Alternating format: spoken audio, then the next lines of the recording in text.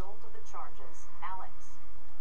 Well, earlier tonight, the new sheriff was booked into his own jail, but even after he posted bail, he wasn't able to go home because of a protective order requested by prosecutors.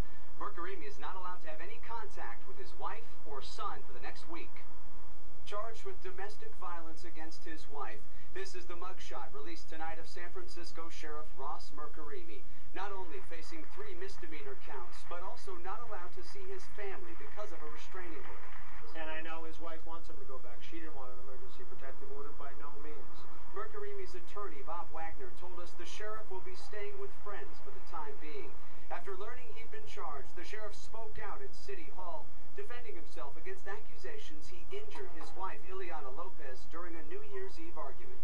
I believe that these charges um, are very unfounded, and we will fight these charges. The sheriff surrendered at the jail. Sources tell us an area was cleared for the high-profile booking. Lopez was seen waiting in a car outside, but she left without her husband. This is my family, my husband and my son. This is unbelievable. This is completely wrong. Lopez says her husband never hurt her. And while District Attorney George Gascon says she is refusing to cooperate with prosecutors, he still felt there was enough evidence to charge, including photos and video of the injury. Gascon says no one is above the law.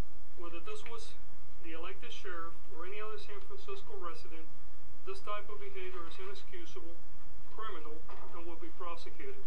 Along with battery, the district attorney also charged the sheriff with child endangerment because he says the couple's son was there during the argument. Mirkarimi said today he has no plans to step down as sheriff. He believes he can still serve while this case moves forward. And Mirkarimi will likely be arraigned on Tuesday after the long holiday weekend. If he's convicted, the district attorney says he could face up to a year in jail.